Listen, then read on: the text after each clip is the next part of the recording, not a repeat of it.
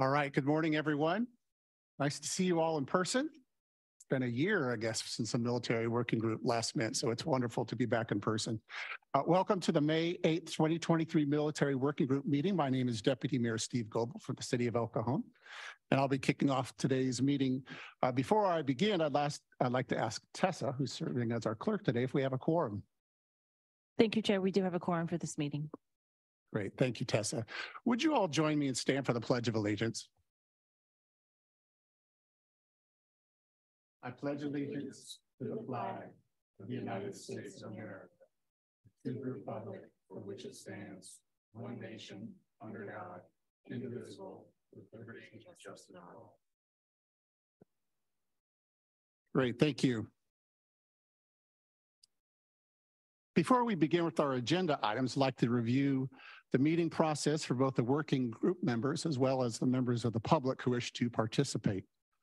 For working group members, when you'd like to speak, just please raise your hand and I'll call on you by name. And Tessa, can you provide a quick reminder on how the public comments will work? Thank you, Chair. Yes, if you are here in the room and you would like to provide public comments, please fill out a uh, comment slip from the back of the room. I believe you can find them at the seventh floor reception desk and bring that slip to me prior to your item being called. Uh, members of the public online, um, just raise your virtual hand during the item that you would like to speak on, and you will be called by the name or the phone number that you have entered on Zoom. Thank you. Okay, thank you. Before we uh, begin, do any members of the working group have any questions before we get to the agenda? Seeing none, we'll go ahead and proceed. Okay, on to item number one, which is member or public comments. Tessa, do we have any comments from the public or for non-agendized items? There are no public comments on this item. Okay.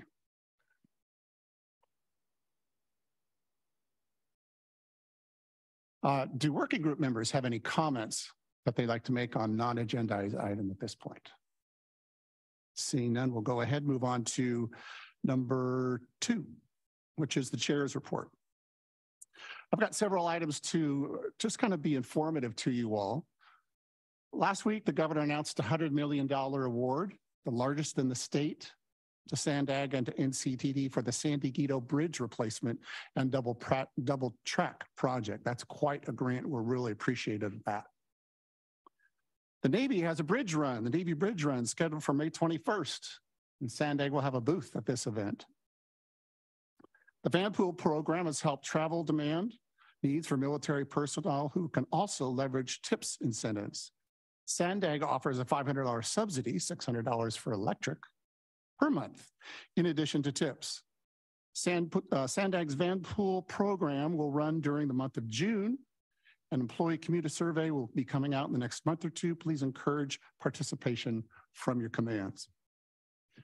Next, to kick off Bike Month, we celebrated the groundbreaking of Border to Bayshore Bikeway last week. This is a seven mile route to connect Imperial Beach, the San Ysidro community, and the busiest international land border crossing in the world. Bike Anywhere Day is May 18th, and more than 100 pit stops have been identified throughout the county. Naval Base Coronado and San Diego have pit stops in addition to the one at the ferry. Next, qualifying U.S. military veterans may enroll in the Sandag Fast Track Veterans Toll Exemption Program to receive free tolls on all California toll roads, bridges, highways, or toll facilities. In the San Diego region, this benefit includes a 100% toll discount on the SR 125 toll road. Next, MCAS Miramar invited Sandag environmental personnel to attend their demonstration for ETHOR, an integrated electric semi-autonomous mobile power station. This work directly complements Sandag's electrification goals, including expanding EV charging infrastructure. Next, the California State Department of Housing and Community Development is soliciting input on the Regional Housing Needs Assessment, or RHNA, process and ideas for addressing California's housing shortage. The new deadline for this survey is May 12th. The California Defense Leadership Summit is scheduled for May 24th, 25th in Sacramento. This is hosted by ADC and the California Governor's Military Council to recognize and highlight critical issues that are common across bases, communities, and workforce that require prompt attention to reinforce defense networks. Just two more, just two more. The DoD Climate Resilience Workshop is scheduled for July 10th through 13th in St. Louis, Missouri. This workshop will allow DoD stakeholders and partners to explore the many facets of climate change, a national security threat that has tangible impacts to military readiness. And finally, uh, there was a question on some of the focus groups about 24-hour childcare for military members. This is a benefit available to the public as well. The YMCA childcare has a 24-hour care program. Uh, it's available to the public as well as military members. And we will be sending out a link to those resources after the meeting. There are 808 24-hour care facilities for childcare in the county, which is great news. Okay, Tessa, do we have any comments on item number two from the public? We have no public comments on this item. Great, thank you. Uh, any working group members have any comments on any of those reports? Anything you'd like to add or? Okay, sounds good. We'll just keep cruising right along. Moving on to the next item, item number three, approval of the meeting minutes. Do we have any public comments on this? Yes, sorry. There are no public comments on this item. Okay. And I'd like to remind members that even though you may not have been part of the working group from the minutes of May 9th of last year, you can still vote on them. There's no requirement that you needed to attend in order to approve, edit, or comment. Sometimes uh, it's just the fact that you trust that the clerk was accurate in the uh, there you go. we got a, got a high five from our clerk already. You, you trust that the clerk took good minutes. That's what you're voting on really rather than the content itself. So do I have a motion from any working group member to approve the minutes? So moved. So moved by Mr. Urtasun. And do I have a second? Second from Mr. Grudy. All right, all those in favor, please raise your hand. All those opposed, all those abstain. That's unanimous. All righty, thank you. Cruising, moving on to the next item, item number four, the military working group meeting calendar. We have to choose a couple more dates for the rest of the year. And I think uh, we've got those. The calendar, the dates are September 11th or 25th is one date. And then the next one, I believe, is in December. Is that December 4th? I don't have that. Let's talk about September for a second while we check on the December date.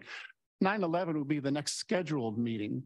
But of course, with the military, we don't know if you all have events or remembrances or other things that might uh, be more important to you on that day. So does anybody have a conflict with September 11th that they'd like to bring up?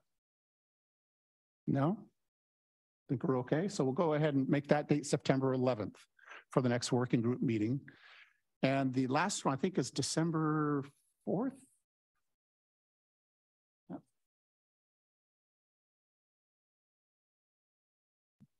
You'll have to help me with the uh, links in the agenda. Do you know what the, the December date is? December fourth. December fourth. December 4th, lucky guess. Yeah. Okay. And let's also please calendar December 4th for the third meeting. Of course, this is as needed. Okay, so we need a motion to approve those dates. Do I have a motion from a member of the group? So moved by Mr. Urtasun. And do we have a second? Who's second? Thank you by member Wasowski. All those in favor, raise your hand. All those opposed, all those abstaining. That passes unanimously as well. Thank you.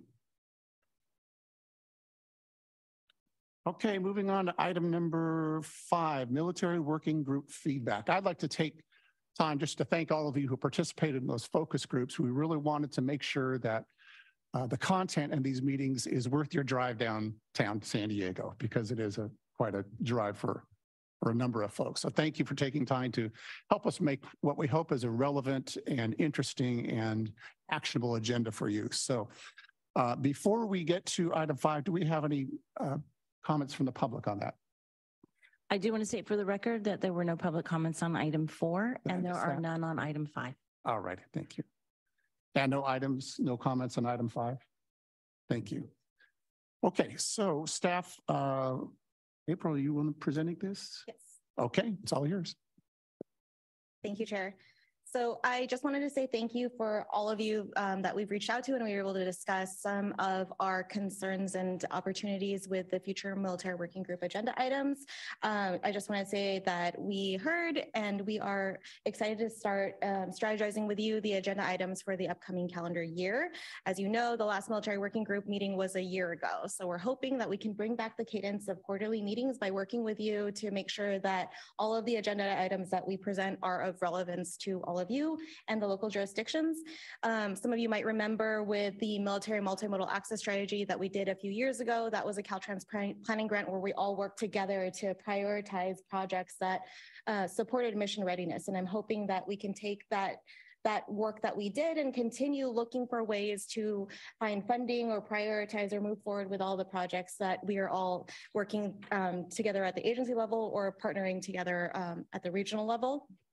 Um, we did hear that although the updates are helpful, we um, a lot of your time is very important to to you and to us, and so we're trying to keep the the informational items very high level and informative, and allow you to read um, the websites prior to or after the meetings, and that way we can keep these um, condense the agenda sessions to as little as um, the, the one and a half hours that we do have. Uh, we did hear also that there are opportunities um, to share that some of you may or not may or may not are aware of. So if you look at the agenda today, we have a discussion of the budget, and we also have a discussion of two partnership grants that were awarded in the prior year that um, support mission readiness and um, local jurisdiction projects. So we want you to, to listen to these projects and see if there's any relevance of how um, your agency can apply for these grants and hopefully move forward with other projects that are a priority to you. Um, we also have been closely working with our government relations team because we want to make sure that you are all aware of any state and federal policies that may impact you as your agency or us as a region. So prior to every meeting, um, hi Tate, you can take a seat. um, prior to our meetings, we could um, we can discuss uh, some of the some of the policies that you may want to elevate internally. So I'm, I'm, I'm working with our government relations on that. Um, additionally, we also have been collaborating with our regional um, planning committee representative to help have a standing role for the military working group to provide feedback to agenda items or recommendations to the board. And I'll have Stacy um, come talk to you a little bit about that too. And then um, I've also been talking to a few of you about different projects that you were awarded funding for, and I'd like to highlight and discuss some of that here.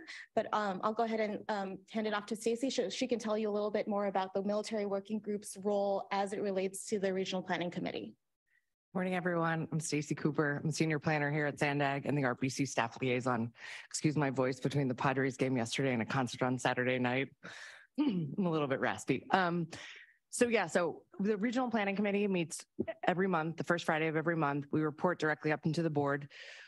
Part of our responsibilities are making recommend policy recommendations on regional planning issues, um, helping with the preparation and implementation of the regional plan, and making funding recommendations to the board of directors on different SANDAG grant programs. There are four working groups that report up to RPC. Um, you guys are one of those. And what April and I were talking about is being a little bit more coordinated in our efforts. And at our meetings, after you guys meet, coming and giving an update to the regional planning committee about stuff that you're working on and what you'd like to be more involved in. Does anyone have any questions? Thank you, Stacy. Thanks, everyone. Um, and then uh, one of the other things that we were talking about is the opportunity for us to network in the region. All of you hold very important roles in each of your agencies, and sometimes we just don't know who to ask. So, for example, there was a request for how do I find out where we can find 24 hour childcare in San Diego? I don't know the answer. I work in transportation, but we were able to work through Rich, who was able to work through his network and find that solution to share with you. So, if there are anything, if there are any things that you guys want to know that you just don't know who to ask, this is a great place to collaborate. And then the chair and I can work together to find the solution for you too. Um, and then also, there's opportunity for all of you to network. So if you guys did um, come here five minutes before the meeting, this is a great team of um, leaders in our community for you guys to work together and use utilize for your benefit. And then also I wanted to, to take the time to allow some of our, our vote, our member agencies to talk about projects. Um, I was hoping that we can call on, um, Sam to provide an op, um, an update on Harbor Drive in Orange County. Do you want to speak to that now or do you want to wait? Harbor Drive? Uh, the Orange County bike path that you Oh, said, yeah. So good morning. Uh, Caltrans reached out to us, um, District eleven reached out to us last week. And we met with them to discuss a uh, future bike path. Currently from Harbor Drive up to Orange County uh, line. They come through the base and then they go on elite licensed area for Caltrans before they hit the state park, San Onofre State Park. Um, the problem that the pub, general public has is one, they have to be able to pass security clearance to get a pass, and the pass is only good for six months. Plus, anytime we have what we call vertical replenishment, which is helicopters moving logistics from the shore to uh, ships off at sea, uh, we have to shut down because we can't have them flying over uh, the public while they have sling load under them. And other than training exercises, we shut down that bike path. So what we're trying to do is see if they can go along the I-5, have a safe transit uh, all the way up to the Orange County line where that would eliminate the need for base security concerns and the public being, if you're a foreigner, you're just not going to be able to bike that path. And there's no walking allowed on the base, so you can't hike. So those, that's an opportunity. Uh, they had some alternatives as they have to do as planners. Unfortunately, uh, none of them were feasible from our perspective because it would open up another, I guess, access point to the installation, which would not be acceptable. So hopefully the funding will either cover the entire path or uh, the path from Harbor Drive to Las Pulgas and then transition to a phase two from Las Pulgas up to Orange County. Uh, the point being is it'll connect without going through the base to the licensed area for uh, an easement for Caltrans to use. Um, and then they can use the state park, but ideally they would stay off of both of those and go straight up uh, the coastline. That's about it Thank for you, that. Sam. Uh, so that's another opportunity that we were able to prioritize as a region to provide access for our local community to use right of way within our bases. And um, that's just one example of a successful project in our region. Another project that I wanted to highlight is, um, Erica, could you talk a little bit about Palm Avenue? Thank you, April. Um, good morning, Chair and, um, working group. Um, so the city of Imperial Beach, I know staff's also bringing up a presentation. The city of Imperial Beach, uh, in partnership with uh, San Diego, uh, San Diego, I'm sorry, in October, were awarded a, uh, Palm Avenue Complete Multimodal uh, Corridor, um, Active Transportation Program grant for a total of $23 million. Um, this is a section of uh, Imperial Beach that we relinquished from Caltrans. Um, it does connect to the city of Coronado and obviously you would go through the city of San Diego. So we're, um, uh, and then mil- military as well, obviously. Um, we're ongoing discussions right now to seek some, uh, letters of support with those agencies and then partnering as well with any businesses around there and doing a lot of outreach. The draft, um, RFP is being proposed, uh, being drafted right now. Um, the total project is twenty-six million dollars. But really what essence is, and I asked staff if they can provide this so you can get a visual. Do you have a, the previous slide? I'm sorry. Uh, The first one, first slide. Okay, I'm sorry, I, I didn't include it, but, um, I wanted to show a rendering of what it looks now. This is Palm Avenue. We don't have those dedicated bike lines. We don't have pedestrian lighting and we also don't have um, any landscaping. So this is sort of a visual so you can see what we're uh, trying to propose. Next slide.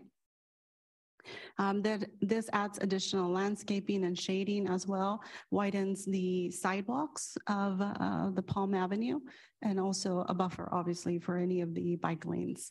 Next slide. And as you can see, there's more, um, more landscaping and then hopefully in the future, we can also improve some of the business corridor as well. And then the last one. So you can see some of the buildings there with the uh, uh, businesses, and then it also activates the um, pedestrian, safe pedestrians. So really, in essence, is it widens the sidewalks, make it more friendly, uh, protect the bike lanes, as as I mentioned earlier, and then greater landscape, um, traffic signals also on the corridors of Palm Avenue. There's like six different intersections. This will not only improve, um, make it more safer, but also, you know, for any military personnel that are also transporting to um, Coronado or even at home, uh, we also have some bases there. Um, and then um, this is not subject to Caltrans because like I mentioned, we did relinquish, but uh, the city of San Diego did relinquish also part of that road uh, through Caltrans. So we're working in partnership with them as well to make sure that um, together we can, you know, enhance it going all the way to the freeway. And um, hoping, hopefully, um, this will improve, you know, any traffic calming features as well. So that's the update. Thank you, Erica. And our representative from Oceanside isn't here, but I did want to um, share that the city of Oceanside is updating their general plan to include uh, highlighting projects specifically that support mission readiness. And this is, was elevated as a result of our military multimodal access strategy. And I just thought that was very unique since I haven't seen that in um, other community planning um, plan updates. So it's just something I wanted to share and maybe we can hear back from them at the next uh, military working group meeting. Uh, so I just wanted to uh, bring forth those highlights and let you know that this is an opportunity for us to collaborate regionally, define partnerships, and hopefully uh, apply for grants together. And also, if there's anything that we as a group want to elevate to the regional planning committee, um, we will have a standing agenda item at that meeting. So um, if there's, if you want to bring it up here, or if you want to just send us an email, we can work with our chair to include it in the next um, update. Back to you. Okay, thanks, April. Uh, Tessa, just checking in, nobody has any public comment after the presentation? There are no public comments. Thank you. Uh, any questions or discussion from members of the working group? It's just a, a uh, informational item only, discussion only, no action needed. So Sam, do you have a question or comment? No, I- I'm uh, gonna speak for uh, JJ Gamlin. Uh, He asked me to cover, um, if anybody's not familiar with the Readiness and Environmental Protection and Integration Program that the Department of Defense has, um, raise your hand. It's a, it's basically funding for installations to partner with non-government organizations, environmental groups, to maintain open space uh, for the purpose of uh, basically buffer and and uh, counter encroachment for installations. It also funds mitigation. Camp Pendleton, I can speak from our own experience. We use it a lot for off installation mitigation uh, to unencumber uh, the habitat impacts within the Camp Pendleton footprint.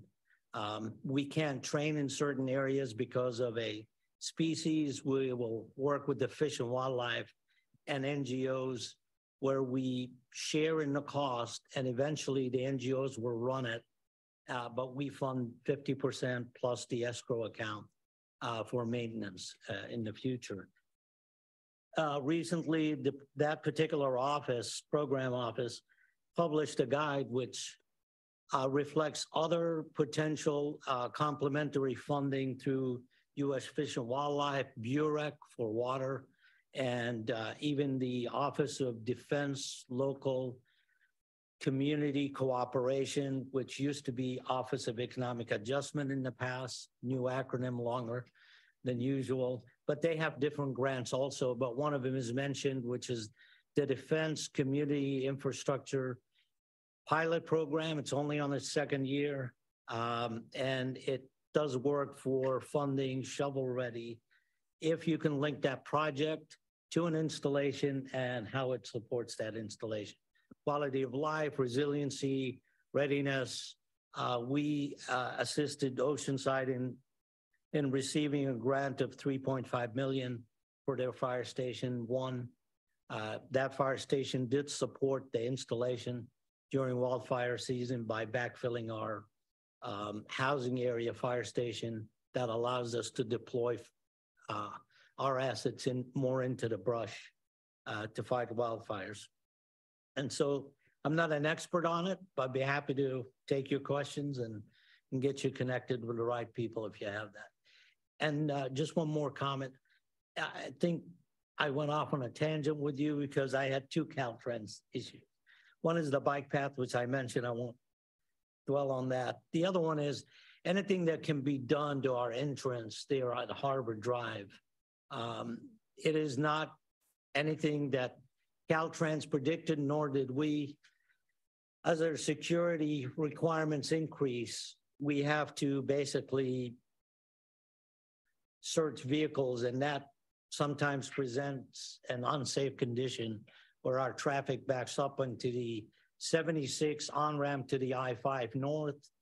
And of course, you have cars merging to get off uh, both on Harbor Drive uh, West and, and into the installation. Those could be problematic during times when we have to ramp up security. And um, that is something that hopefully will be planned out in the future to, to be able to assist some kind of traffic relief from there. We can't back the gate any further than we've done. And, uh, and really, even if we did, the measures continue to be the same. That's all. Thanks. Good. Well, thanks for the heads up. I mean, every time there is an unusual event, the public certainly appreciates having as much advance notice as they can to make adjustments or detours or things. So uh, that would be a great thing to know when it happens. Thanks.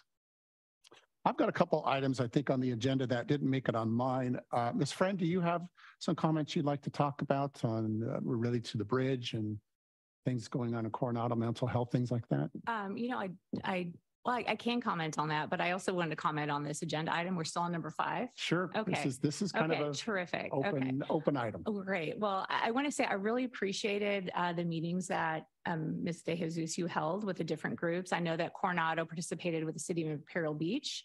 We're able to share some of our feedback, but I was curious about what you heard more broad based from everyone. Since um, perhaps I missed it, and I apologize if I did, just getting a, a greater summary of what other partners in this group wanted to see from these meetings going forward and some more, maybe more tangible recommendations for how we might work together and talk about things. So are, is that going to happen? Is that in process? Did I just miss that step? Yeah, I just left it at a high level with my Okay. discussion here, but what I'll do is um, I'll attach a summary to the meeting minutes so that you can hear the discussion that happened in each of those um, breakouts. Because um, a lot of what I heard was this is the opportunity for us to talk about priority projects, issues of concern and challenges uh, adjacent to military bases, and hopefully work together to find funding. And so the budget and grants is something that is really important to everybody attending, and that's why that is the bulk of our agenda for today. Um, and then also there, the opportunity for us to collaborate and share lessons learned. So the, a lot of, a lot of the grants, like the two OLD, OLDCC grants that were awarded are an annual, um, annually awarded. And we've, uh, we had one at Sandag and we had one in National City so far. And a lot of the other jurisdictions can also benefit from that, that funding because it, it is coming out on an annual basis. And then we're also working with our with Muska and Sam on identifying what other federal grant opportunities are there. Because um, Sandag, we track the ones that we can apply for that are uh, uh, a priority for our regional plan update, but we can't apply for everything. So we're hoping to use this forum to share some of those opportunities. And at least if, if we can't lead the grant application, some of you in your jurisdictions can. And then also just providing updates in general about projects of significance that would um, would benefit the, the advisory members. So that's it at a high at a high level. But what I'll do is I'll, I'll send the summary bullet points of um, specific projects that were shared. All right, thank you. That's so helpful. And if I might make a suggestion, now that we have adopted our calendar for the year, maybe we could group out topics around those meetings so we know as members what we're going to be talking about in September and December. And maybe there's a commonality of issues. Like we can, if, if today is the focusing on budgeting and funding and grants, maybe next one could be some other issue that was a priority for all the members interviewed. And I think that would be really useful. And it would also personally help me just to kind of think and plan and be prepared to really participate. So That's great. Look forward to it. Um, and then to the question of how things are going in Coronado, uh, well, we are, things are busy. We have a third carrier and I, Nan is here. Yeah, we have a third carrier and we have been feeling it a lot. Um, having a third carrier in port, and that started about two weeks ago, means that we've got three fully staffed, uh, not with all the air wings, but uh, carriers uh, and a lot of traffic coming over the bridge. So I can say that my employees at the city of Coronado have been really feeling it terribly from about 6:30 to I'd say about 7:30 or 8. So it's something that we're pay, really paying a lot of attention to, and it has really um, affected transportation coming onto the island for sure. So that's what's happening. Um, otherwise, we are, you know, gearing up for the summer season. We're seeing more more visitors in general to the island. Um, but it, but pertaining to this group, that's a major event that we're seeing is just the impacts of that third carrier. Thank you. Okay, great. Thank you. Uh, Lieutenant Wasowski, you might have some words on serving local communities. Is that, I hope I'm not putting you on the spot. It's on my my my version of the agenda, but if it's not, you can just say, you know, I No, really it is, um, because unlike uh, our DoD counterparts, one of the big things we do is we do serve the communities. We are out there performing the missions every day, search and rescue. Um, we openly engage with a lot of our community partners. Um, so my only question on- during the focus group was, how can we serve you guys better? Um, I know that with um, the repeal of Title 42 coming up, we are going to be uh, very heavily engaged with uh, potential uh, mass migrant events and on the water side. So we're probably going to start to get pretty um, inundated with uh, lack of assets pretty pretty shortly here. So, but as far as serving the community, because search and rescue, whatever we can do to help you guys better, we're here for you. and you're thinking that could be this week. May, I think I've heard May 11th, the end of Title 42, and we may see a, a surge of activity at the border. Yes, we've been looking, working really closely with the fire department and with our lifeguard partners as far as coming up with a cohesive plan of action, especially with uh, streamlined communications. Uh, we are expecting to have mass swimmer events, Okay, uh, which obviously for us primarily search and rescue. okay. A lot of those folks don't know how to swim. And, and do you need any help or, or coordination with any cities, uh, uh, first responder agencies or, or things like that? No, we have, uh, we've been doing a lot of drills and exercises and actual mass swimmer events, uh, since October of twenty twenty-one. Um, we've been able to hammer out a lot of really great details and it's definitely something that's been on the forefront of my CEO's minds. Uh, we've, I've had email correspondence with him this week. Uh, we just have a really strong relationship. It's, we have a plan, we have the ability, we have the capability, and everybody has a heightened response posture at this point. Okay, good to know. Thank you. Uh, Muska, do you have some comments about the growth of the military and the Navy and? Um, let me first introduce myself. Um, my name is Muska Laik. I'm the Deputy Regional Community Plans and Liaison Officer. Um, today marks exactly a month since I've been in this position, and currently I'm also filling in um, for the Regional Community Plans and Liaison Officer, uh, Steve Chung. Many of you have worked with him before. Um, so let me talk a little bit what we do at the region level. Um, we manage the encroachment program for Navy Region Southwest and ensure mission sustainment uh, and coordinate with uh, various stakeholders at local and state level um, to make sure that uh, our bases are able to train and operate um, without uh, any um, major encroachment issues. And then also we um, have a lot of open dialogue with local jurisdictions uh, to address mutually uh, areas of concern and opportunities. We share information, we educate um, the community on the importance of Navy mission. Um, so the Navy Region Southwest team also coordinates internally with our installation community plans and liaison officers. Um, I have Yashi and Anna today here. Um, and the goal is to provide our bases the support that they need and coordinate the regional level efforts. Um, and then at the same time, uh, make sure that they have everything from the region that they need to continue their operations. Um, we also provide policy guidance, um, training, and set the strategic vision uh, pertaining to the encroachment program. Um, so as far as growth projections goes, um, I don't have um, an update for you today, but I will provide you that information um, our next meeting. Thank you. Okay, great. Thank you. Any other comments from members about their areas of jurisdiction or things? Okay, informational item only. Yes. Sorry, I just, uh, Melissa reminded me to add something. We do have a representative up at Sacramento. So we- we're fully engaged up there. So does the Navy, but based on Region Nine, DOD, DOD Region Nine, which they represent the Department of Defense. Um, and our representative up there are working, currently, we're working very closely with the CEC uh, with regard to um, microgrid potentiality. We have some have been displayed here at uh, Miramar. Uh, Camp Pendleton is a different animal because uh, Miramar is just one of the camps that we have in size within Camp Pendleton. We have 18 of them. So we're working towards uh, some future program uh, with them. There's a third party that has to be involved, so I can't talk more about it, but uh, we're, we're looking forward to that grant in the future here, in the next year or so, hopefully. Good information. Thank you.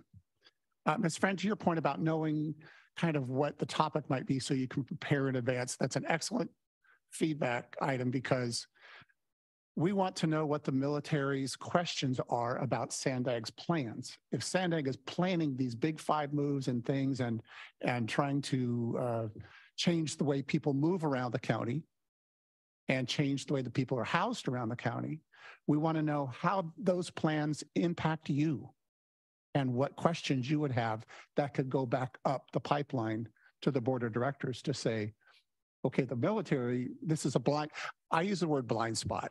I like to avoid blind spots. And so I'll, I'll listen to anybody to say, I might have a blind spot in the area.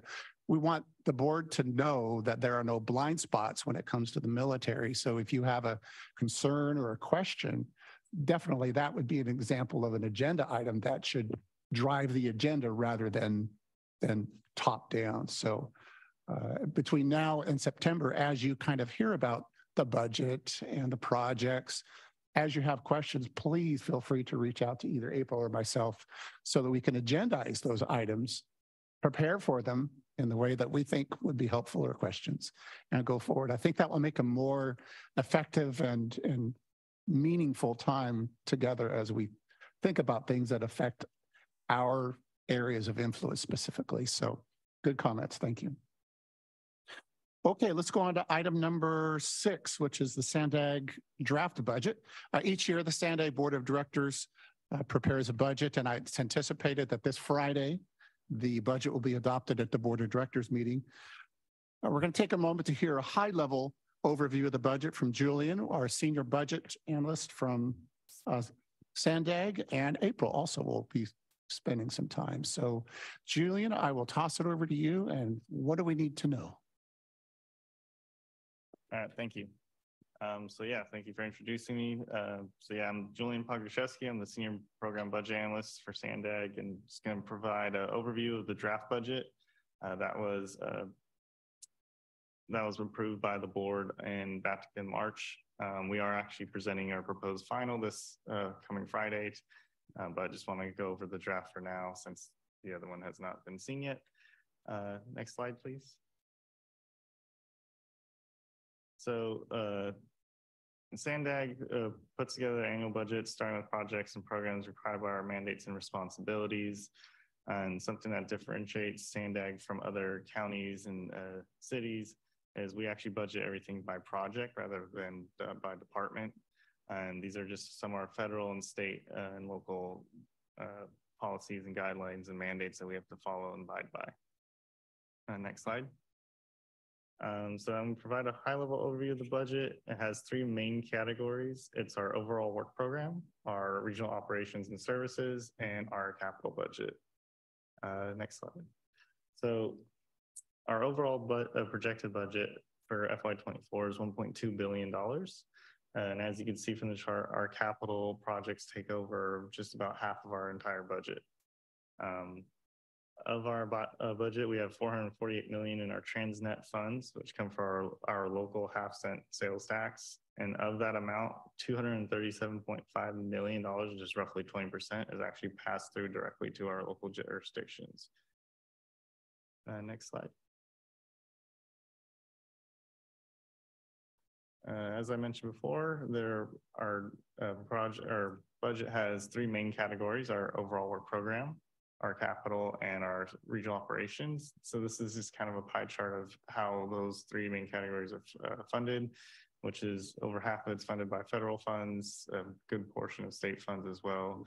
We get a lot of support with uh, grants and those kind of opportunities. Uh, next slide. So the first category is our overall work program, um, which is the inventory of regional planning projects and programs that will be undertaken during the fiscal year. Uh, some examples can uh, are a regional plan and data and modeling services. Um, and our overall work program includes funds from our local, state, and federal funding sources. Uh, next slide. Uh, for our 24 budget, um, we're projected to, for our overall work program, $96.4 million of a total of 60 uh, projects within this category. Um, we have our four main categories, and within this section is our regional planning, project implementation, data and analytics, and community engagement and financial management. Um, and next is going to be our capital budgets.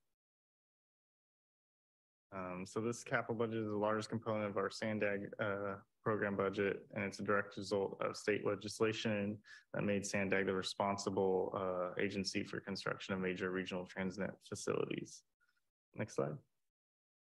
Uh, so our capital budget is comprised of 121 total programs or projects and uh, projected for 58.2 or $582.7 million for just FY24 the total multi-year uh, projected budget for our capital projects is roughly around $9 billion. Um, and a list of our some uh, projects that are beginning construction FY24 uh, listed above Inland Rail Trail uh, 3B Bikeway, Eastern Hillcrest Bikeway, Orange University Robinson Bikeways, and Del Mar Bluff Stabilization Phase 5, um, so we have a bunch of things actually, you know, hitting ground and starting in FY24. It's exciting news for that. Um, and then the next is going to be our regional operations and services budget. And this component of the budget provides management of ongoing operational programs and customer services that deliver enhanced mobility and public uh, safety services, provides maintenance and support of intelligent transportation, regional law enforcement data systems that support travelers and public safety agencies in San Diego region. So this can be samples like the uh, SR 125 toll roads, um, freeway service patrol, and the Sandag van pool program. Uh, next slide, please. Uh, so this is our regional operation service budget of $71.6 million. Um, it Sorry. As I mentioned before, it comprises the SR 125 toll facilities, the I-15 FasTrak managed lanes, our freeway service patrol. Also in this section is our ARJIS uh, and criminal justice related programs and services. Um, uh, now I will pass it over to April, who will highlight the programs and projects related to the military uh, installations. Thank you, Julian uh, for that high level overview of the budget. I don't know if any of you have already read the SANDAG budget. It's about two to three inches thick. So we're hoping that this high level summary will kind of give you an idea of how our budget is structured and how you could use the book to find opportunities to leverage the funding we already have planned to support some of the projects that you have. So if you're looking for match funding in a grant and we have a project that's in that same area and there's opportunity to align uh, that scope of work with another project in your jurisdiction, that's an opportunity for you guys to look into the budget and see um, what projects we can leverage. And then also, uh, Julian mentioned that there are three specific sections that you guys want to look at. So uh, Sandag works on several different projects. The during the planning phase, um, if you look at the, the OWP section, basically highlights a lot of the planning efforts. So all of the studies that we do that help us get to that next phase of design and environmental, that's in the OWP section. So if you have a study that you're interested in or you you don't know that you're interested in, that's the section of the budget you want to look at. And the next part that you want to look at is the, the capital section of the budget. And that's where we find the funding for infrastructure projects in our region. So if you're looking at what is what is Sandag planning to build, that's the part of the budget you want to look at. And then he mentioned the the operations section of the budget. That's where you're going to see programs like the van pool program. So one of the things that we find of value is uh, military is probably the highest number of usage in our TDM program for the van pool program, and that's supported in that section of the budget. So um, as our chair mentioned earlier today, we provide additional subsidies in additional to the TIPS program, which is why basically it makes the commute free for our military service members who are participants in the van pool program. Um, so if there are certain projects that you see that we either discuss or don't discuss, um, that's an opportunity for you to provide feedback that the van pool program is really important we want to we want to maintain that section or that budget in the upcoming fiscal year. Th that's the type of feedback we want to hear. And also uh, just to highlight some additional projects that you may or may not be aware of in the in the budget, we have Otay Mesa East, which is a port of entry that includes um, toll tolling facilities that use technologies that also support commercial facilities through our border. We have a, one of the busiest borders in the nation, and that's um, that's a high level project. Or another one is Del Mar Bluffs um, to support LOSSAN. That's a very important corridor for transportation of both people and goods for our region.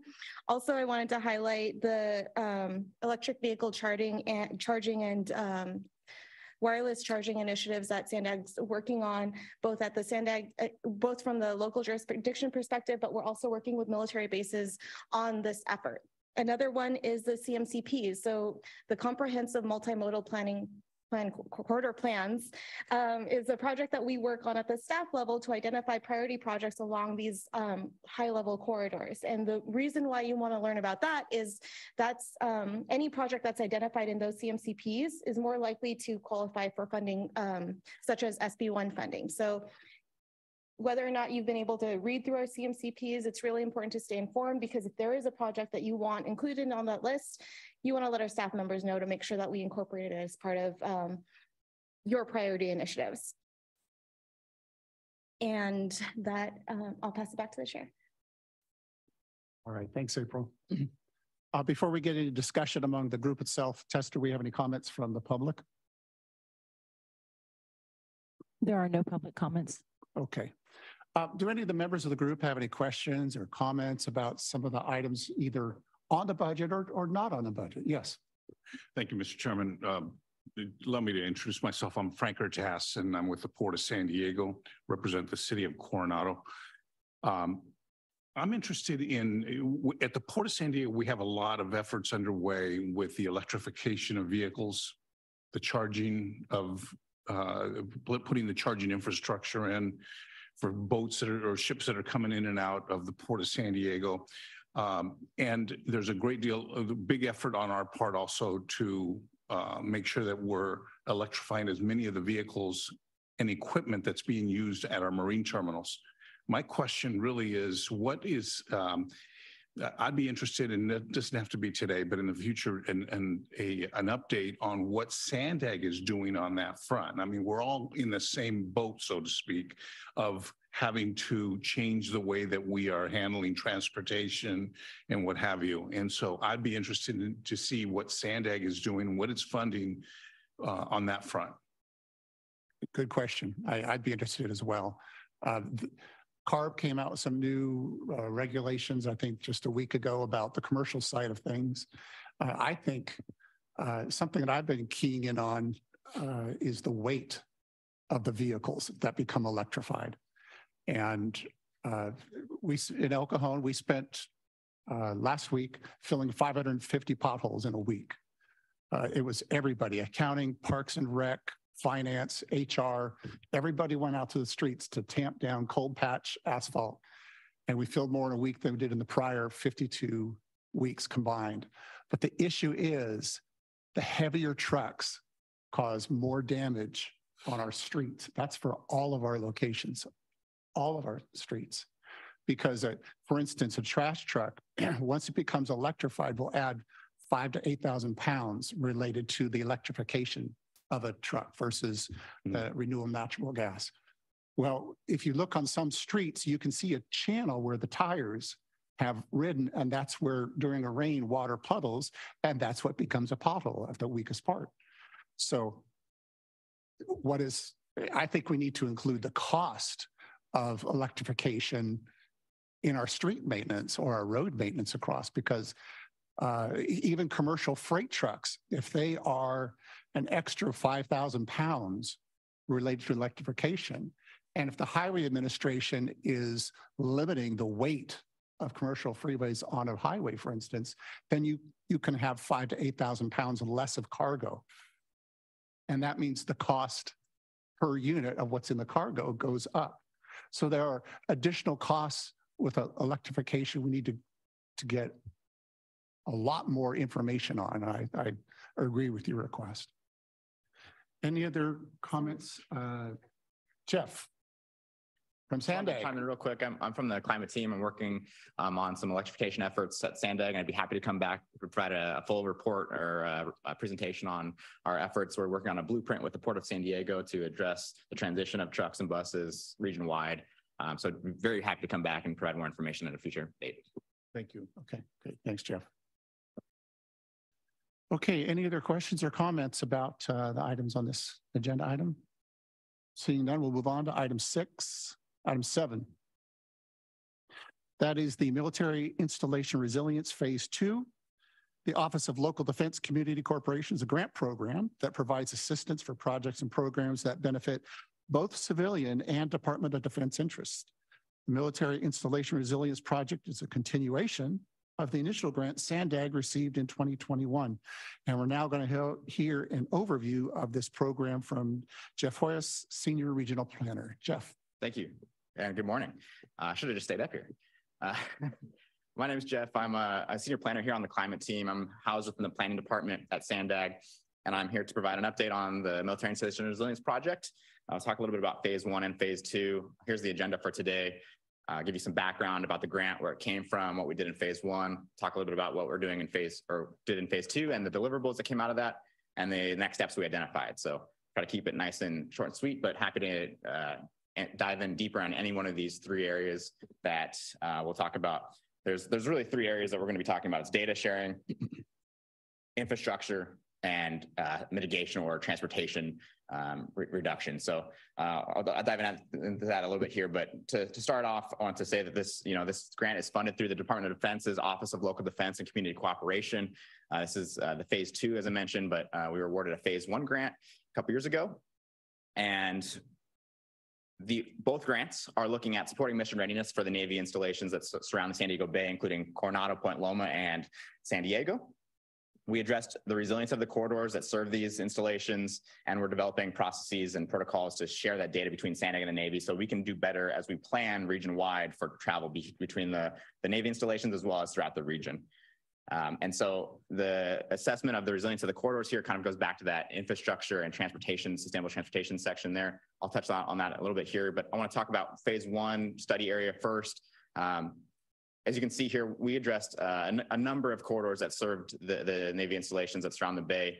Uh, we're, we're, looking at primarily the effects of sea level rise to these corridors, so uh, and, and increased flooding. So we're looking at the climate uh, impacts uh, and sea level rise associated with that to the to these corridors, and uh, trying to understand where there are um, vulnerabilities or areas where the corridors can be improved upon to be more resilient long term overall, the, the focus of phase one was to really assess the vulnerability of those corridors, understand some of the adaptation strategies, whether or not those are nature-based solutions or traditional civil, civil engineering solutions. We're also looking to understand um, and, and do some better data sharing between SANDAG and the Navy, as I mentioned, but also with uh, the local jurisdictions that surround the Navy installations and how we can work together to collaborate on projects to address resiliency of these corridors. Um, and we did some engagement with our stakeholders, held um, project development meetings and really walked through this. And all of the, the, the phase one report findings can be found in the link here in the PowerPoint. Building off of phase one, we narrowed it down to three different corridors, SR 75 and the 282, Harbor Drive and Pacific Coast Highway. And these were found at most risk or the most vulnerable to sea level rise and flooding impacts uh, due to climate change. And so we, we, we took a deeper dive into these three corridors in phase two. And what we're doing here is, as I mentioned, we're really looking at three things. We're looking at data sharing between Sandag and the Navy and data between the local jurisdictions in the Navy, as well as with Sandag. We're looking at climate resiliency of those corridors. So the resiliency, um, the, the actual infrastructure resiliency, and so, um, and then also mitigation strategies for these corridors. So really the, the data part really touches back to what, what data exists, how can we coordinate better on this data, the resiliency part is looking at are there solutions that are either nature-based or civil engineering projects that can be implemented along these corridors to support the resiliency of the corridors. And then the mitigation element here is sustainable transportation strategies. How can we improve transportation flows throughout the corridors um, by providing alternate choices for transportation? So for data here, we uh, we have three different bullets here that I'll, I'll kind of touch on touch on briefly. As I mentioned, the data sharing between Sandag and the Navy helps inform Sandag understanding of, uh, of the regional transportation flows. And so we work, we work with the, with the Navy to understand how we can go through a validation process for our data assumptions that go into our activity-based model. Um, because, you know, we, we're looking well, within a subsection of the region, but the, there are military personnel that travel throughout the region and, and with outside of the region to the, the Navy here. So we want to make sure that we're understanding how those travel flows really affect, affect regional planning what we can do in the future. And that informs our transportation options and kind of it all, it all snowballs into uh, the resilient uh, uh, infrastructure part here. And so we also looked at developing a, an inventory of climate data, infrastructure and flooding data, as well as land use and planning data. So we looked at the existing plans that surround the Navy installations to understand what's being planned, what has been implemented, and what, um, what are the challenges still to uh, implementing resiliency along the corridors. And we rolled that into a military installation resilience hub, which is for our local jurisdiction practitioners um, to work together to identify potential solutions along those corridors. It's really meant to be serve as a resource so you can identify where the data is, uh, what, what are, where are the critical locations or the areas at most risk, and what are some potential solutions along those corridors so that we can roll that in and take the next step to identify funding and pursue these, these projects. And so that rolls in here to the resilient infrastructure element this is the, the methodology, uh, the simplified methodology of how we identified resilient or, excuse me, critical locations in the corridors and how to make them more resilient. First up was that data review, understanding what, what is going on. And then second, we developed a, a menu or some guides for resilient infrastructure solutions, whether or not those are nature-based solutions, kind of, uh, for example, eelgrass or, or oyster bays, maybe uh, widening beaches so that there's more sand and less uh, wave attenuation, or potentially looking at civil engineering projects that you may be more familiar with, like uh, raised roads, levees, groins, um, more that hardscape gray engineering. And we tried to understand where each has its own place in, to be used. What are the benefits of nature-based solutions versus civil engineering solutions? And at what time would you need to be implementing them at, at how much uh, potential benefits do they provide? Are there any co-benefits for nature-based solutions like uh, greenhouse gas emissions reduction or, or other uh, co-benefits? We then identified critical areas and action points. These are essentially the, the low-lying areas of the corridors, the areas that are going to be more susceptible to sea level rise or to potential flood drain backups.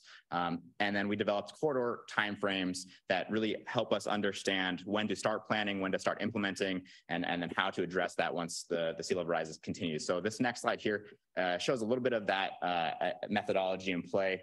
So the and the on the map there, the the circles are the critical locations, and we identified 12 throughout the three corridors. And these critical locations uh, are the, the low-lying areas in the corridors that will will need at some point in the future some sort of reinforcement uh, via either nature-based solutions or civil engineering projects to ensure that they are resilient to sea level rise and flooding on these corridors. Our, our proposed methodology to address these is through this uh, level one, level two, and level three project phased approach. So um, looking at the, the, the critical locations, you want to start planning seven to 10 years before the need or the projected need. And then as we look at one foot below, uh, one foot below the, the elevation of that, that road or that corridor, that's when we're, we're thinking about nature-based solutions being the best bang for your buck, so to speak. Uh, As you get to a foot above sea level rise, excuse me, a foot above that corridor, it's a combination of infrastructure, civil engineering infrastructure and nature-based solutions. And then as you look long-term at that, that two feet and above, you're really looking at those more traditional grayscape civil engineering projects. The reason why we're not just recommending a project that addresses the third bullet right away is because there is some uncertainty with sea level rise, how fast it's going to be happening, to what extent it will be happening. And there is some good uh, literature out there that shows that nature-based solutions can really help reduce that those needs long-term. And, and they're also generally cheaper um, and, and easier to maintain than a, a- a traditional civil engineering project. So by phasing these uh, approaches, you have um, a little bit of, of benefits long term. You're more likely to be able to buy, get buy-in from the stakeholders across the the the, the, the area. And, um, and and so we really worked with our local governments. We worked with uh, the, the surrounding local governments, the Port of San Diego, uh, the airport, and and of course our, our military partners in the in the area to understand what projects may have appetite, what projects don't have appetite, why they may not have appetite. Um, and these are all documented within the framework report that was included in your agenda packet. Um, so that that's the the resilient infrastructure section of the report. This next section here is a sustainable transportation strategies, and this is really uh, meant to provide options for transportation throughout the this the study area. We looked at three different areas: active transportation, transit, and transportation demand management. Um, you, some of you all may be familiar with Sandag's previously known iCommute program. This is the rebranded title of that, Sustainable Transportation Strategies. So iCommute really is meant to share uh, alternative ways to to get around the region. Um, you heard about the uh, the the the the the, the shuttle on demand service earlier. Um, that's not the name of it. The uh, the uh, van pool service, excuse me, uh, earlier, and that's part of this iCommute or Sustainable Transportation Strategies program. Uh, but we looked at, at, at as a as a project development team at these alternatives to just regular transportation for a couple of reasons. One is you are, if you're reducing the amount of single occupancy vehicles on the roads and in these areas, you're increasing uh, or, or, reducing congestion, increasing vehicle speeds and flows, and making it easier to get to and from the bases. You're also reducing greenhouse gas emissions uh, that are being emitted, and so you're playing a larger part of that regional air quality improvement as well as greenhouse gas emission mit- mitigation. So to combine these strategies help provide uh, alternative options, reduce and, and benefits as far as air pollution go. The uh, we did sim- something similar with this with the with the group. We identified potential strategies and projects that could be implemented, and then got buy-in on whether or not they were actually feasible based on different uh, base uh, priorities and, and commanding officer priorities, as well as the surrounding communities and whether or not they were compatible uh, with land uses. And um, we developed a VMT reduction toolkit, which identif identifies a suite of options. Some of them may not be implementable at this time. Some of them may need to be built consensus on. Uh, um, some have more uh, appetite than others. But overall, this provides a, a foundation of options for strategies that the folks can implement uh, in, in the area and surrounding the area. Along all three, data, resilient infrastructure, and the sustainable strategies or sustainable transportation strategies, there are uh, there's a theme of continued next steps that are needed. Uh, for data, we need to continue to work with the Navy to understand the data sharing process between Sandag and the Navy so that we can inform our travel uh, be- behavior model. Um, and we're going to be looking at doing that for our next regional plan here. So our regional plan update in 2025 we will uh, for sustainable uh, excuse me resilient infrastructure we're going to need to do the same thing but really what we need to do on that side is get the consensus and the stakeholder buy-in for these projects. We didn't uh, assign any of these projects to be like, these, these are not assignments. These are potential solutions that need to be bought in by the stakeholders and need to be really uh, compatible with the surrounding land uses that are being um, or excuse me for the projects that are being recommended. And then once consensus is built, then you can look at uh, costs and identify funding and really pursue those and implement those projects. Similarly, with the sustainable transportation options, you're looking at building consensus on which programs or projects may work best for the Navy installations, uh, what, what can work well with the surrounding land uses, and then identify funding and implement those projects. So as a next step, we'll be looking to identify and work with the stakeholders to build the momentum off of what we have already. We don't want this to just be a, a project that land, lands on a shelf but how can we continue this momentum and look to build consensus on some of these projects and work towards a more resilient, resilient corridors into the future. So with that, I'd be happy to take any questions. Thank you. Okay, thanks, Jeff. Before we uh, get on to any member comments, do we have any comments from the public request to speak? There are no public comments on this item. Okay. Uh, Working group members, any questions or comments? Yes, Ms. Friend. Thank you. Thank you for that presentation. Uh, it was a lot to cover and a lot of work too. So what I was wondering is, uh, we have Sandag and then we've got the coastal cities, Coronado, Imperial Beach, San Diego, at least, who I sure ha- I'm sure have their own body of climate work. I know we do. We have a vulnerability assessment. I know that we did some coordination with with you. Yep. Um, so what I'm wondering is, are we trying to harmonize all of the science and all of our data? Knowing that we probably had different consultant teams, and maybe different data sets we drew from, are we working to harmonize that and to have an agreement around what we're seeing around the entire Bay Area, and also to have the same terminology? Like I just saw that some of your metrics about we're looking at one foot above sea level rise may not be exactly how we in Coronado are looking at it. So I'm thinking there'd be a benefit because I don't know how to translate what you're saying with what I know from our study. So I'm wondering um, if there's a way that we're working to find a common language and understanding as we're developing strategies together.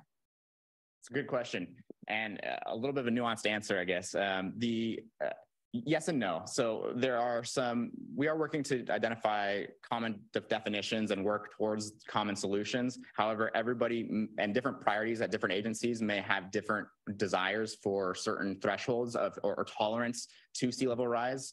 Uh, for example, um, through this project, we used a, I used we used a more conservative approach as far as our, our risk tolerance because we're working with the, the, the Navy and we were um, we had a conversation of you know what is our our threshold for for tolerance? Are we looking at a more conservative, uh, moderate, or uh, you know a more optimistic approach? And really, with the conversation with the navies, we're looking at a little bit more of a conservative, moderate to conservative approach. And so you may see throughout jurisdictions have a different understanding of where their tolerances or their, their risk tolerances lie.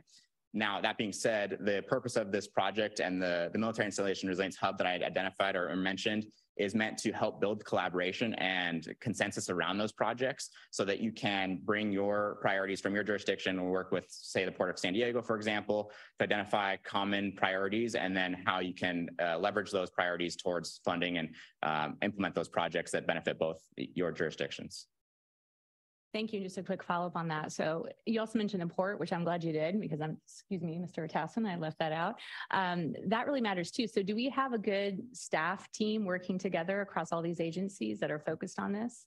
Yeah, I, have been doing this for uh, seven years here at Sandag, and I've built some good relationship with staff at the, the Port of San Diego and throughout the jurisdictions. Um, and the so they're they're Sandag staff working on this as well as building a stakeholder group of sustainability staff between those jurisdictions. Um, Sandag has a sustainability staff, stakeholder staff that looks at all things climate, uh, and we also have the Accelerate to Zero Emissions, which is, a, which is an electric vehicle collaboration, which ties in all of the the member agencies and their their staff level folks. Mm-hmm. Um, and so we, we have discussions frequently about projects and, and grants that we can pursue and um, bringing this military installation resilience thing to that was part of that and kind of buying, getting buy-in from the sustainability staff was, was definitely part of the, the project. And is there a final question? Is there an intersection with the shoreline working group as well? Because I know we have some council members on that. So are they wrapped in these conversations? Uh, we we haven't gone to shoreline specifically with this project, but we do. I work closely with the environmental team who does the shoreline work here at Sandag, and part of that is the nature-based solutions, right? So that that shoreline element, the beach sand renourishment is a huge part. And so we worked with the, the shoreline team uh, and the environmental team here internally with SAP here to understand kind of what those projects are, what the priorities were, benefits, lessons learned, things we could have done better, um, and tr- tie that into this project here. But that will definitely be, this will be something that needs to get tied into like the CMCP work that April mentioned earlier, uh, back into the shoreline works and efforts.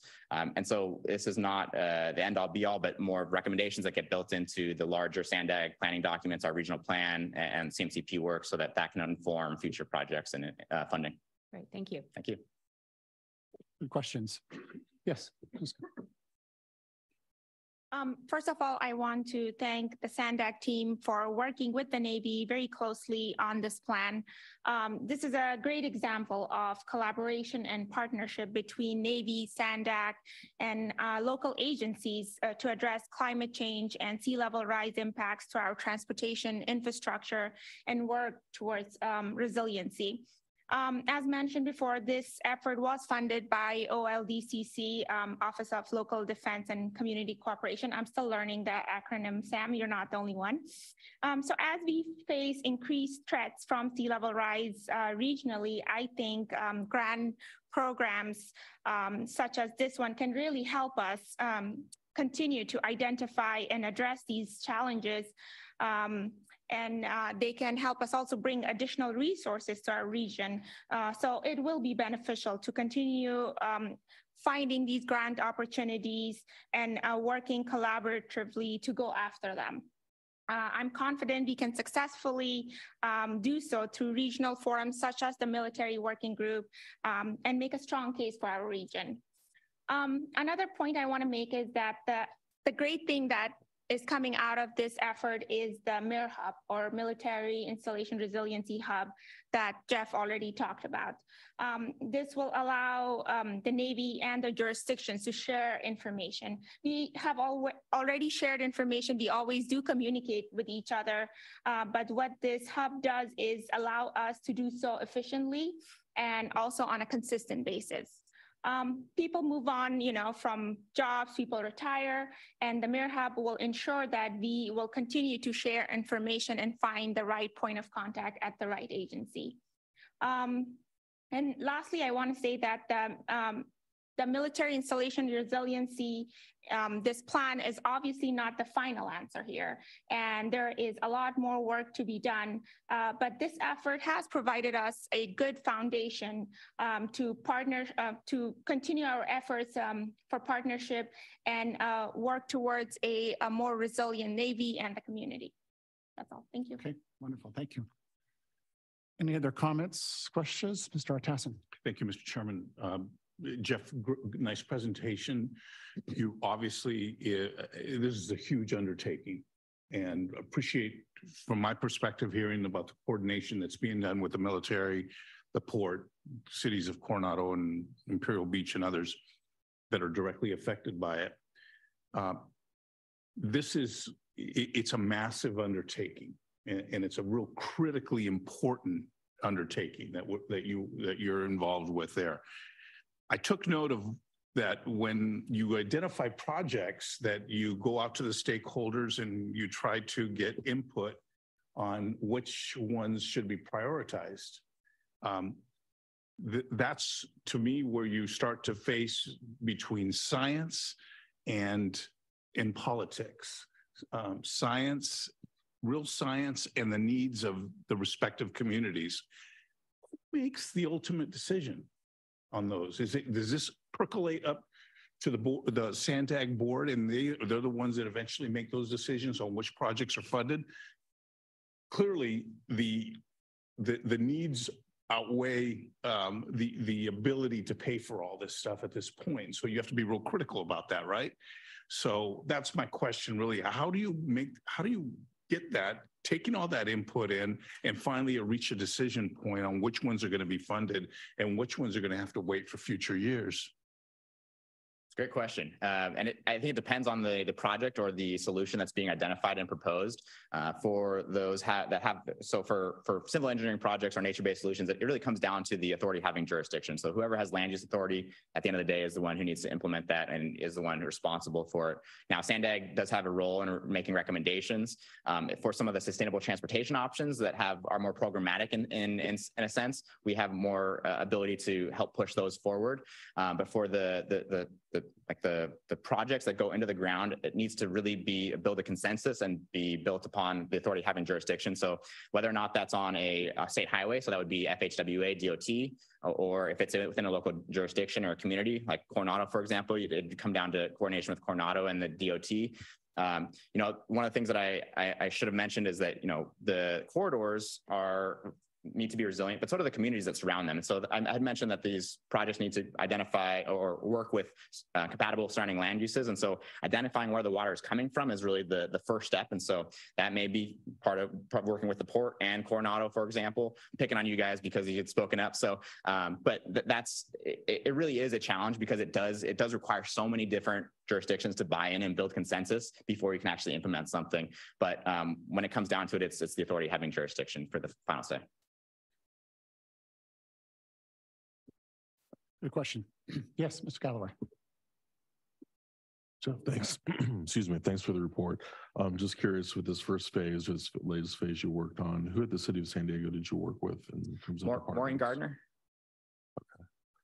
Um, so for this next phase, feel free to reach out to me and I can certainly give you in contact with some different um, uh, additional people because this issue kind of crosses many different departments within the city of San Yep. Diego. So I want to make sure it's kind of diverse in terms of who you're talking to, or at least have the opportunity to get. For this second involved. phase, we've been working with Julia Chase and Maureen mostly for the second phase. Uh, there's been a few other city staff that have been involved in the PDTs and I can follow up with you if you'd like, but um, definitely want to make sure that we're talking to the right people. Great. Yeah, just I'd also recommend looking at some of our land use plans because we have addressed sea level rise, like for instance, the Midway Pacific Highway Plan more recently did uh, address some of these issues as well. So the extent that you can already build off of some of those recommendations rather than having to reduplicate them or go sideways from them is always helpful. Absolutely. Great. Thank you. Good, good question. Any other comments, questions? Okay, uh, April, if, if they have questions after today's meeting, who could they contact about any of these projects or? Something? You can contact me and either I'll know the answer or I'll find someone who knows the answer. My a contact information is on the next slide here too, so you're wel- welcome to reach out to me as well. I don't know why I won't go to the next one. Okay, thanks. This item is discussion only. Uh, no action is needed. Thank you. Thank you for your presentation. All right, moving on to item number eight. That is the National City Installation Resiliency Study, Phase One. Another award from the Office of Local Defense Community Cooperation, or OL. DCC is the National City Installation Resiliency Study. This builds upon the work our military working group started with the Military Multimodal Access Strategy, Harbor Drive Multimodal Corridor Study, and Naval Base San Diego Parking and Tra- Traffic Congestion Relief Plan.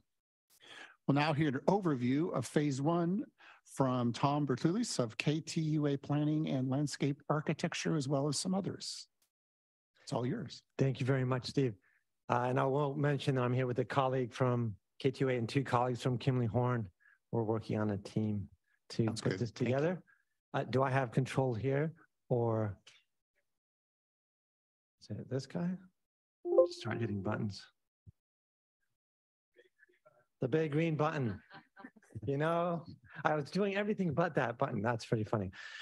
So thank you, everybody. This is my first time presenting in front of this group today. So, um, and that was nice that we just had Jeff present on a resiliency project because this is also funded by the OLDCC. It's a resiliency planning grant. Uh, it's City of National City got the grant, but in partnership with Navy Base San Diego, and the projects or the potential projects are both in the City of National City and in San Diego. So the purpose, and I'm not going to read every single word because you're going to be bored to death, but it's to encourage coordination and collaboration between the City of National City, the Navy base, and other agencies. So this is the ideal group for this coordination and input. For and and Steve had already mentioned this in the beginning, but solutions related to traffic, transportation, and parking. So the needs, and this is pretty critical, the needs are establish a policy committee to make final recommendations to the National City City Council for approval, and we've we've done that. We're having a series of policy committee meetings. And critically for this group, utilize Sandag's military working group as an advisory committee. And I understand that uh, Sandag's military working group is from all around the county, so maybe not everyone's. I, I happen to live in North County, but maybe not everyone in different parts of the county is interested in City of San Diego and National City. But if any members are interested in this potential projects from this study area, um, that would hopefully be an action item. Please let us know. Maybe reach out to April or reach out to me. And hopefully some of you can give input on this. And then the last line, coordinate and collaborate as needed with other public agencies to build consensus as much as possible on these issues that I mentioned. So the phasing, this is pretty straightforward, existing conditions that we're wrapping up. Uh, future conditions that we're just delving into now includes traffic analysis, mostly synchro uh, traffic analysis and design drawings. And then we'll develop the, the final plan. Notably, it's wrapping up in July, which is pretty fast. So if you are going to give me input, um, let's do it ASAP because it's, you know, we're, we're not really used to moving at this pace in this field, but this is good news. So the study area here you can see in green is National City west of National City Boulevard. And then going up into parts of San Diego, there's a couple of trolley stations there on 28th and 32nd, you can see there. And you can see on the right side, you know, we're going to review past and present planning efforts. We're not looking to reinvent the wheel to create a baseline condition in the form of a summary report with the traffic model. So these will look familiar to many people in this room. There's been a lot of work been out there in planning in this area. I mean, dozens of, of efforts. And so what we did is we reviewed all these previous efforts and we're actually not developing projects. We're using existing projects that haven't gone to final design. Maybe they've been identified and then we're collating all those. And then we're using groups such as yourselves to help prioritize and rank those. I know there was a questions earlier. How do you, who makes a decision? But so how do we prioritize and rank? So this will be, there'll be one slide at the very end that's critical for everyone to digest and absorb and then hopefully give us feedback. So where is congestion happening? You know, I can tell you where congestion is happening where I live. I'm sure anyone who's been here um, at any point, you, you get a pretty good sense, you know, in this case, in the darker red, you get have more uh, traffic congestion, and we are trying to mitigate congestion with these projects. Let's see if I can get to the next slide. Collisions are not as apparent as congestion. This map is from 2011, 2021, the 11 years of most recent data that we have. And it shows collisions. It's a little hard to read. It shows fatals, uh, severe injuries, um, other injuries we left out, fender benders, because that would cover the whole map. and you can see here the big arrows point to the fatalities. There's, you know, three in the upper right-hand corner, um, three more kind of the left. So maybe six in 11 years. So on average, a fatality every other year, just to kind of give you an idea. But we are looking to mitigate collisions as well. Here it is. How do you prioritize and rank projects? Here's where you come in. Now, I don't expect you to read every line here because it's small, a bit fuzzy, but this, if you're interested and you reach out to April and or myself, we can look at the work we've done we've come up with criteria, you know, kind of intuitive. The more collisions, the higher it gets ranked. The more congestion, the higher it gets ranked. Also, proximity to Navy gates. Um, if it's a STRAHNET corridor, it's going to be higher heightened importance. Connection to the freeway, connection to the trolley station gets more importance. But we are interested in your opinion, your input. What should rise to the top? What's not as important? So this is it. Um, you know, what are the next steps? Well, we're going to analyze future conditions uh, with Synchro. If it's, you know, if, if it's a roundabout project, maybe we'll use something like Sidra. Um, draft recommendations in AutoCAD.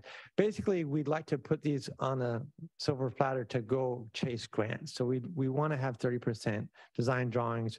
We use those to chase grants. That's why we go out um, to this working group. That's where we're going to go out to the public pretty soon. And we have this policy committee. And ultimately, we'll come up with a final report. So these potential projects, what are they going to look like?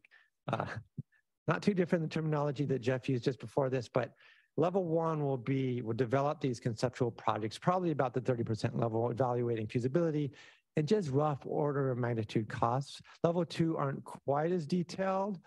Um, they'll be conceptual, but we're not going to go in detail with the feasibility and we'll include them in our outreach. And finally, level three we'll just develop a list of considerations for future development. So there'll be three levels of projects. And we do want input on where the potential projects could go in these three levels. And that's it. Any questions? Okay, thanks, Tom. Do you have any presentations from your, your colleagues or are you, you all together all in one? We're all in one. They're here for the Q and A. Yeah. Oh, okay. So you're ready for just about anything. Yeah. well, I don't know. I saw the. I know. Before. I don't know if I'm ready for uh, everything, but we'll see. I left that wide open. Okay. Before we get to member questions or comments, uh, Tess, do we have any things from the public? There are no public comments. Well, this is just an easy meeting so far in that regard. So uh, you're off the hook in a lot of ways there. Uh, I, any questions or comments from members of the group? Yes. Yeah. Thank you, sir. So first and foremost, I've been stationed here a couple times. And as you know, Coast Guard Sector San Diego is right across the street from the airport. We only have one point of entry and exit from the facility. And the footprint of our facility is extremely small. So anything that impacts us is going to impact North Harbor Drive and airport traffic. Thank you for the protected green arrow so we can access our base. It's made a huge positive impact. However, I do have a concern when I'm, um, something that's been pretty on the front of my mind, uh, if we have like an active shooter or civil disturbance, we don't really have a good way as far as an alternate secondary point of entry or exit from our facility, but also managing traffic flow.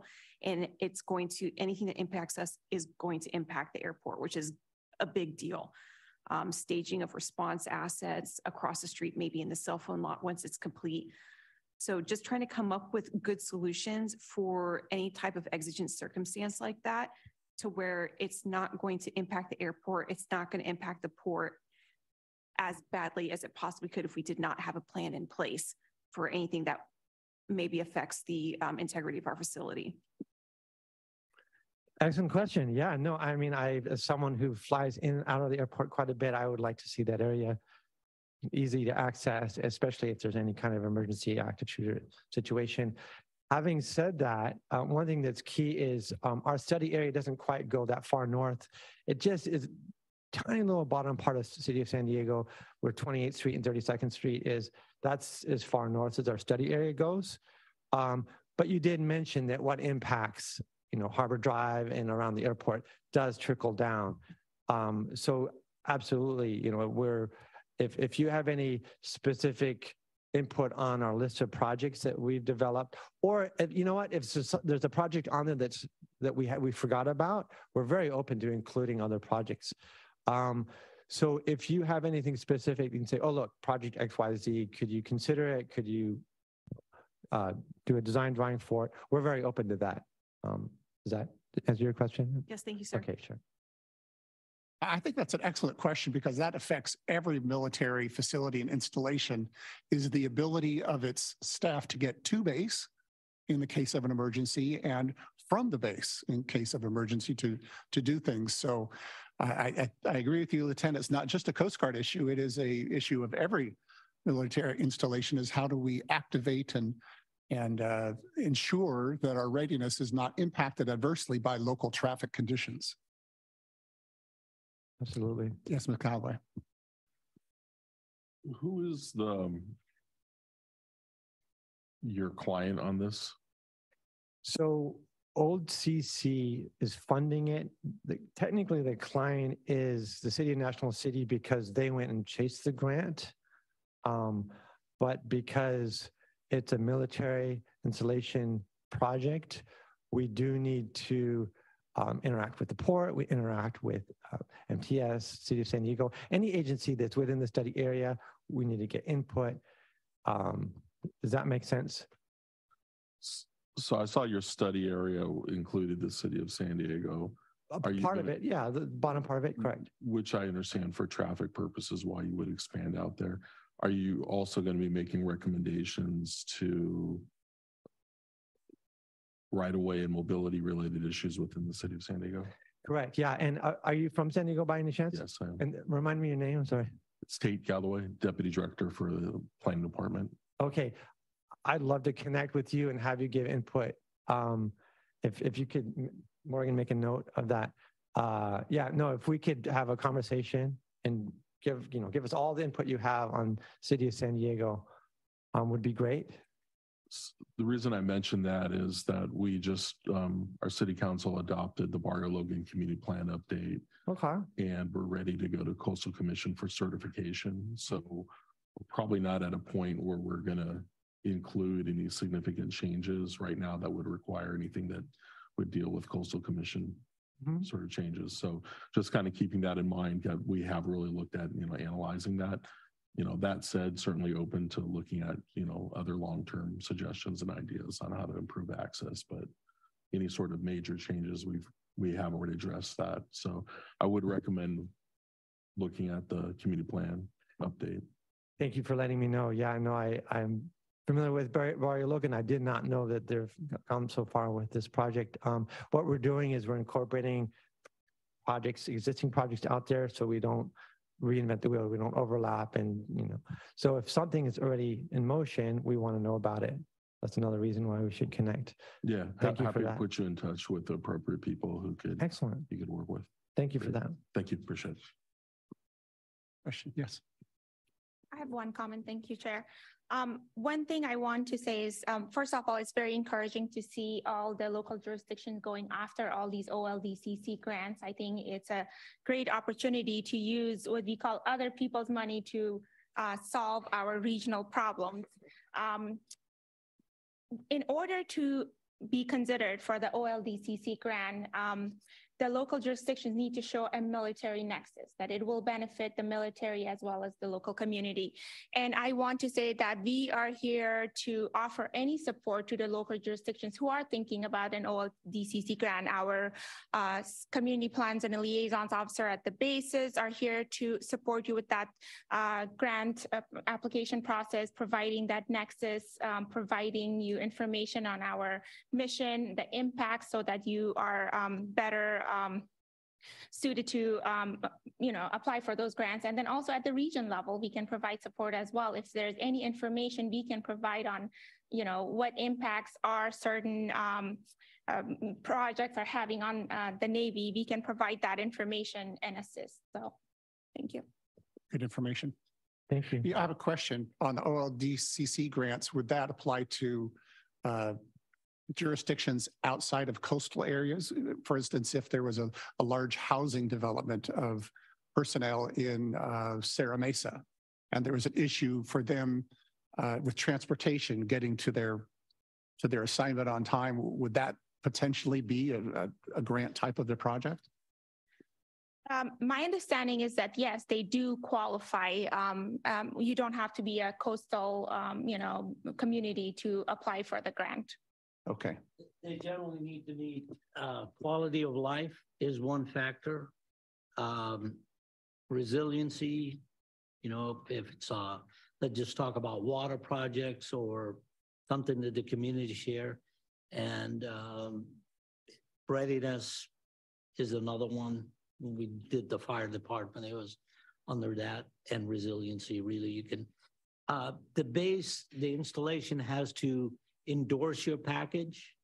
And in that endorsement, they need to address how that relates to the installation. But it can be anywhere. And, and that would cover things as, as wide as health and safety of, of its personnel? Sure, I, I think you could do that. Uh, it's, it's really how well you word the document and you word you you uh, have the buy-in of the installation and how that relates to the community. It's a little bit difficult when it gets a little mushy out there. Now, in the priorities uh, that I listed, they are ranked. So if you come in with a quality of life, but resiliency is another project that's, but they're not competing. I don't think there's anything that keeps an installation from endorsing multiple submissions. It sounds like it could go two ways. Both the, uh, the city could request, is this something that the military would be interested in applying together an OLDCC grant or the military saying to the city, would you join us in this uh, grant opportunity? I, I could see both, cor- correct. Uh, the, the burden is really on the community to identify, and in some cases, it has to be a funded project. Um, it, now, I'm not familiar with the study. The study is a little bit different, but there is a, I, I guess what it's called the, um, they're matching. And so, Yes. and all, and the DCIP is not large amounts of money. There's a, it, the pot is getting bigger, but it's not, you know, hundreds of millions of dollars Yeah. that- that I've seen so far. Yeah. Uh, but you never know in the future. Okay. Uh, Ms. Wang, you're from the Naval Base here in San Diego. Hi, good morning. I just wanted to add a little bit to the discussion. So I was going to point out that um, the Navy bases doesn't just mean those three on the coastline. We, we also have housing areas that we have uh, that's in other jurisdictions. As long as you can have that military nexus of how um, it could improve quality of life or um, access for both. And I was also, also wanting to point out, this is one type of grant being put out for OLDCC. This is the Military Installation Resiliency Study. And actually, when we went after this grant in the first place, we actually went after a compatible use study. So that's a different kind of study, but it's from the same folks. Um, DCIP, as you mentioned before, is a shovel ready. These are all planning grant. And as far as matching, depending on the size of the city, that does um, have an impact on how much your matching is. For instance, for National City, you just have to do, I believe, a 10% match and staff time could be included in that matching. Good information. Thank you. Thank you. Oh, and also if there's a project you want to go after, I, I think the first step you need to do is contact um, the base that that is being impacted. Like for myself, is Naval Base San Diego. If you're not sure which military base, I would contact Muska, and we'll, we will start that dialogue because there is a letter of support needed from our base commanding officer to go after these grants. And as far as MIRs um, and CUPs, they are, um, you can nominate it throughout the year. DCIP, they do have a set deadline in the summertime. It's better.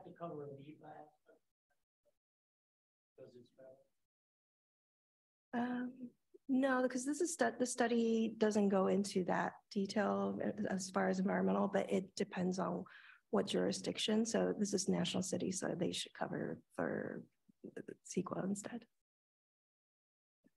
If I can just add and clarify, um, for the military installation resiliency, those are the plans, um, you know, they're just studies, so no NEPA requirement. However, if you are applying for DCIP, you do need to have a, uh, you know, have done your environmental analysis and your project needs to be shovel ready.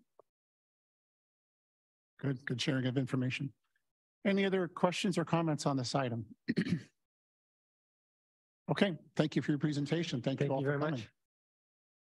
That takes us to item number nine, the upcoming meetings. The next uh, meeting date we've decided will be September 11th indeed. And uh, December 4th. And we'll have, uh, we'll be in contact with each of you kind of as a post, postmortem on the meeting. What, what did you want to hear that you didn't hear? What did you think was helpful sharing? Uh, so that we can really sharpen these things and, and make them even better.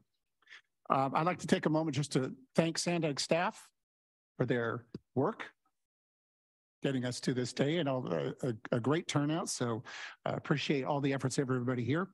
And I think that takes us to adjournment unless there's any final comments. Uh, we will consider ourselves 20 minutes early to the finish time. That's always a good thing. Have a good rest of your day. We're adjourned.